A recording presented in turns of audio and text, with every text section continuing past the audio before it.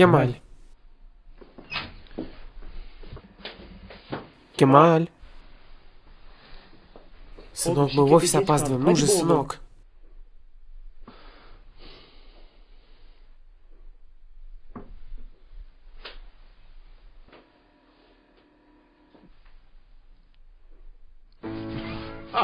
Да что это?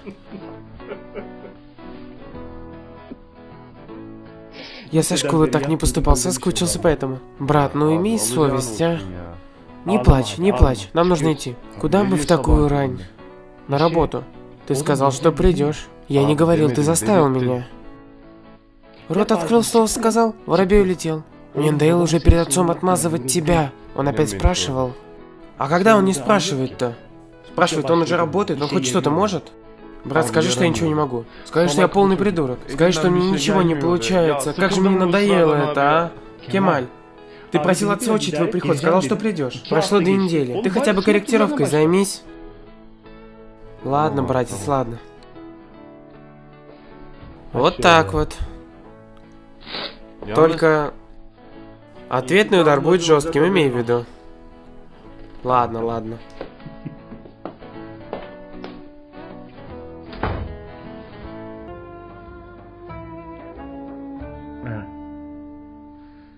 Мехмед Кемаль закончил чертежи? Ему нужно еще время. Он закончит. Ладно. А, послушай. Из-за того, что он твой брат, не надо его щадить. Не волнуйся, отец. Доброе утро. Доброе утро. Мы с твоим братом как раз обсуждали твои чертежи. Ты попросил отсрочку. Не успеваешь? А, ну... Нет никаких чертежей, отец. Что это значит? Он же простофиля. Ему не понравились работы, он по новой все будет делать. Мы очень опаздываем, у нас есть встречи. Кемаль, ну же. А, вы уже выходите? Я кофе хотел вам сделать. В следующий раз, мама. Ну ладно, я провожу вас. Ну давайте, удачи вам там. Мне надоело тебя прикрывать перед отцом. Что случилось? Опять с работой связано? Ты не думай об этом, лучшая мама в мире. А, брат, я телефон забыл. Ты подожди меня, я пойду заберу. Он за 40 часов-то не найдет. Пойду, помогу ему. Ладно, увидимся. Увидимся.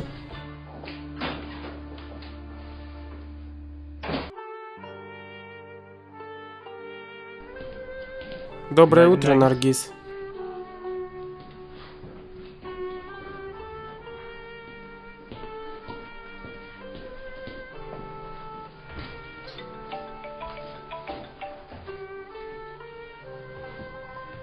Алло, брат. Все хорошо, а у тебя? Спасибо, брат, у меня тоже все хорошо. Послушай, у меня к тебе дело появилось. Что такое, надеюсь, ничего плохого? Нет-нет, все нормально. Эм, мне нужно за город выехать. Хотел узнать, сможешь меня заменить? Что за просьба, брат? Конечно же. Я скоро буду там. Хорошо, спасибо, брат. Ну, увидимся, брат. Ты уходишь? Ну, на сегодня пусть будет так. Завтра больше поработаю. Увидимся.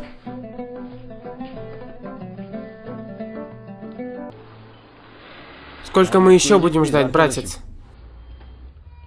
Ладно, едем, едем. Подожди, еще один пассажир есть. Можем ехать? Едем, давай.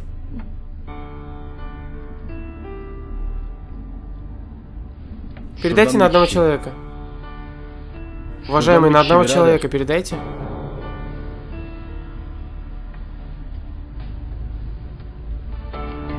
Есть кто-то, кто не собирается платить? Передавай, брат. Отец?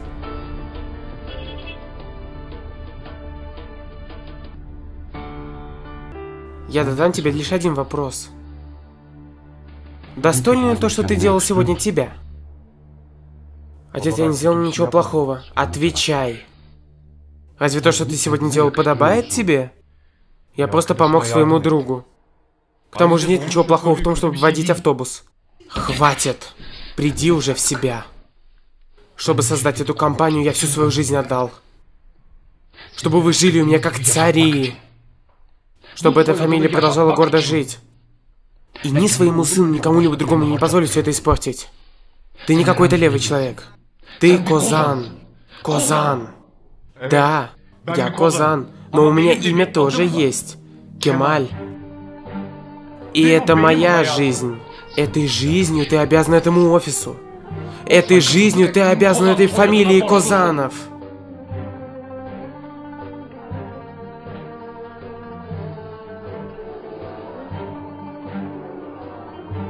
Твоя сестра и твой брат создали для себя достойную жизнь. Ты тоже начнешь достойную жизнь. Ты отбросишь все эти глупости и станешь человеком, человеком. Все, что от тебя требуется, чтобы ты вел себя так, как тебе подобает. Пойми уже это. Ты тоже пойми меня, отец. Я не сделал ничего такого, что могло бы опозорить тебя или нашу семью. И никогда не сделаю. Тогда хватит уже общаться с этим куском подошвы. Берат не кусок подошвы, отец. Он мой лучший друг. Хватит уже его так оскорблять. Вот как? Погоди.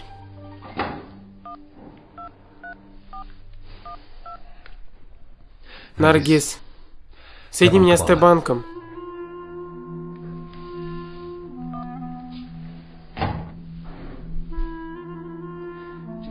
Пополнять твои кредитные карты теперь будет господин Берат.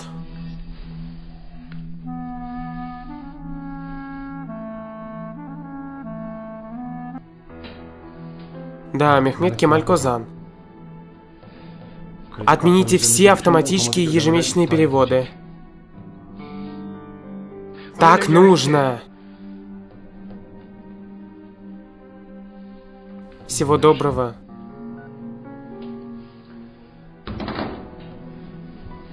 Если не будешь жить, как я сказал, ни копейки не получишь. Поживешь, как твои любимые водители, может быть, за ум возьмешься. Хорошо, отец.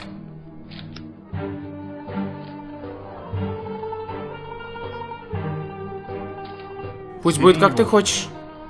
Когда ты гуляешь с моими кредитками у себя в кармане, ты не воспринимаешь серьезность этой жизни. И это возьми. Все-таки ты оплачиваешь бензин. Мехмед Кемаль. Мехмед Кемаль!